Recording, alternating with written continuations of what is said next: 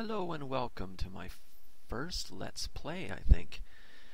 Majesty 2, a great game, a strategy game, but um, different than uh, traditional ones, which you will see. But uh, this is showing right now what the game looks like. So there's all kinds of stuff that can be done. It's quite, I wouldn't know if I'd say complex, but certainly a lot of things that are that are going on in the game. So we'll start with just a single mission. And one of these are good. Maybe I'll do desert. I'll do the jungle. I'll start in the jungle. Okay. Your eyelids are getting heavier. I guess it's supposed to be virtual reality. But, anyways.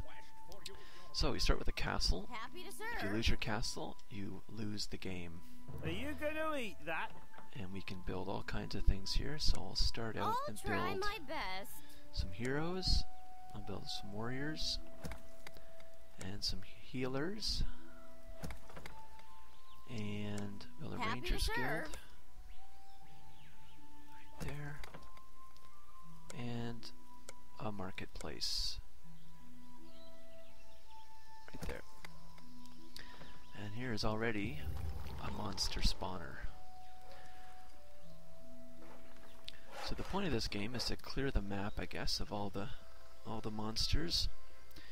Monsters appear at the buildings like this, but they also can appear from the outskirts of the map as kind of random encounters. So what you do is you build heroes from the buildings. So the cleric, this builds clerics of course, rangers from here, warriors, and there's all kinds of other stuff you can do. All, all kinds of other uh, heroes you can build. But the neat thing about this game, which makes it different than other RTSs, is you cannot directly control any individuals in the game. So this little worker here, I cannot tell him what to do. He does his own thing. Same with all the warriors, and that makes it a unique game. As a as compared with all the other games that you're, you know, the benevolent, benevolent dictator. You tell everyone what to do. You move them here. You tell them to kill this. Go pick up this. It's you know, I enjoy this these types of games where you cannot directly control people. You're more like the Illuminati, where you influence, and that's what you do in this game as well. You influence. So you do build the units, but after that they wander on their own. Marketplace gives them stuff to buy. They go out and kill monsters and get money from it, and then they use the money to buy things. So you buy them potions, like this researches potions, and then the the marketplace has an infinite store, and then uh, heroes will come and buy them, and then you get the money, and the tax collector goes around and picks up the money takes them to the castle, and then you then you get more money that way. So here's all the heroes that we have so far, and I'm gonna tell them to kill this right away. So I provide a little incentive, and they'll run over and attack it, like this guy is now, and this guy will. This guy probably is as well. I think I'll get this going too. It's a trading post. Trading posts produce mules that travel to your marketplace and give you a good chunk of cash if they make it. And of course, monsters will try to kill those things. Here's another monster layer. So it's producing wolves. I'm not sure what the cycle is. Now, your your own town produces monster uh, spawners like the sewers here. Now it depends on the number of buildings you have. I don't know, maybe it's five or something. Which the fifth building you have a, you get a sewer. You can't destroy the sewer, but you have to keep killing the rats as they come out. So that's part of the game as well. And eventually serve. we'll get a bigger sewer, which produces even bigger rats. I'll turn the speed up a little bit. There's a speed setting right up here. So this is going to blow up pretty soon. And they all level up, by the way. Each character has experience level that they get for attacking stuff. And they have equipment, which you can they can upgrade if you build a blacksmith. And then there's the healing potions that one person already has. There, he's got one of them. I don't think anybody else has any healing potions. Oh, he's got two. This is finished. These are for special buildings. The kind of the tier 3 heroes. Which I'll get later on. But I gotta upgrade the palace, and the palace is pretty expensive to upgrade. 2,000 bucks to just get to level 2. So that'll come later. And I'll get this. Restores health. And what? Oh, how about rogues? I'll build the rogues.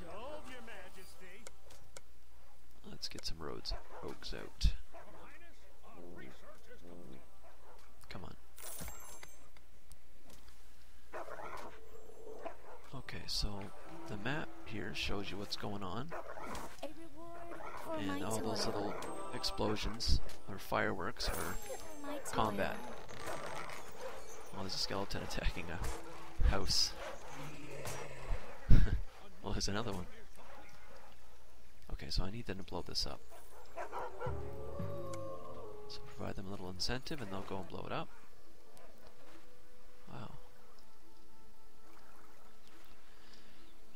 Depending on the hero type as well, sometimes they'll go out and explore. But I can, I can also give them an incentive to explore. So I can make an explore flag and then put some money on it. And then a exploring type, which are rangers, and there's a few others. They will go out and get these. And these little icons up on the heroes here, they they kind of say what they're doing. So scouting, and I think this one is oh buying new stuff. And this person is attacking something, or no, she's doing a qu- or she's uh, fulfilling a one of these things, flag. Reward she's attacking that. For my toil. This guy's buying stuff. So let's see what he buys. Oh, he bought one healing potion. I guess for 20 bucks, it's one healing potion. What did she buy? She bought one healing potion as well. Oh, look at all the money I got. Um, let's upgrade some of the buildings. You can upgrade the buildings, and you can then research abilities that the heroes can use. Oh, the roads is done. And some of the buildings have abilities that all heroes can use, like this poison oil one. So heroes will actually come into the Rogues Guild and buy oil for their weapon to poison it. So maybe I'll do that too. I think I should build. You know where all that money came from? It's from this. This is sending uh, mules over with money. And actually, it's pretty fortunate that one's so close to the base. Usually, that's not the case. Usually, it's like halfway down, and you've got to build towers around it because monsters will come and attack it. Is there two here now? Okay, let's build a tower there. There's a tower. Towers shoot arrows as well as they have they spawn a guard who walks around and attacks stuff. Same with my castle. My castle spawns 12 peasants who walk around and repair and build stuff. Two tax collectors who walk around and pick up money. Uh, one royal guard and one royal guard. Yeah. And as I level this up, they get more of these things. These houses appear randomly. This is where the workers live. And they produce money per turn. So basically, these people pay tax to live here. And monsters can come and blow up houses, but they just reappear somewhere else pretty much. And later on, when this castle levels up, other buildings will appear on the outskirts that pr- just produce tax money, like windmills, for example. But there's not a big deal to protect them. It's pointless. Like it doesn't matter. If a skeleton was blowing this up, it, it, I would be indifferent. It doesn't matter. They just reappear later. There's a warrior attacking some rats. It's a dire rat. This is done, One so I can upgrade it. I'll lose a fight. I'll upgrade it, and it makes it shoot fire arrows, which are better. mana potions are kind of useless because the clerics can regenerate their mana with a, an ability right here, I think. Yes, this one. So I'll give her the holy attack and upgrade that. And I'll get this one, this accurate shot, which is actually pretty awesome for the ranger. And crushing blow for the warrior. Maybe we'll follow somebody around now. We'll follow this ranger around for a bit. Looking for adventure. Is no one getting this? I guess I'll. Sometimes if the reward isn't high enough, you have to increase it a bit. Okay, we've got a bit of money here. Let's upgrade the castle. That'll take a while. You can see their levels up here.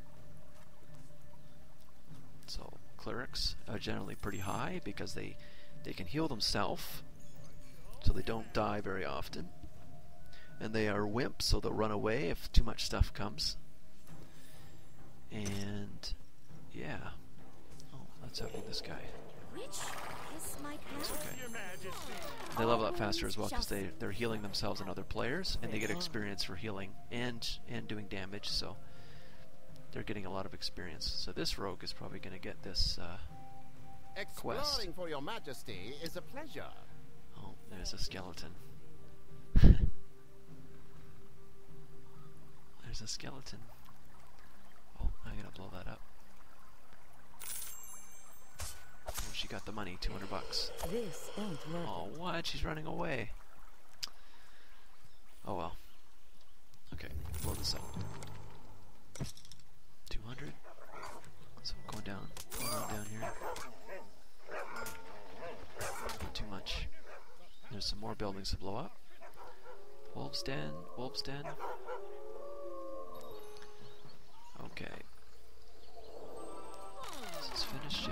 Castle? Oh, it's upgraded. So now I have three guards, four taxpayers, or tax collectors. But I can also get maybe some tier 2 heroes if I can find them. Okay, now what do I want? I can I can either get elves or dwarves. I can't get both. I think elves are better. Dwarves are good if you're playing a, a really hard map that you have to be very defensive if you have all kinds of crap coming at you because they dwarves can build um, pretty good towers. These dwarven towers are really good, but we don't. we're not playing a defensive map, so I'll upgrade the marketplace so that I can get an elven bungalow. Yes. Oh, look at all the skeletons. oh, there's an archer. Skeleton archer. Why is he running like that? Less trouble. Look out! Oh, you're gonna get shot. Tax collector. Oh, oh, she's got a hold. Oh, here's a ranger, Is my path? level seven. Where? He's just running away. I guess he's looking. Oh, he's gonna get in the chest, maybe. Someone's gotta take care of these bowmen. Maybe you'll see that special effect. My No. has paid off. He's gonna run. Yep. he's gone. Okay, what was I gonna do now? Is this done? So let's get Ring of Protections, and then we'll get the elves. The elves, right there. Another thing that's nice about dwarves is they repair buildings too, and they get experience for that. Oh, she's just got owned as well. Wonder if she'll use that holy attack spell.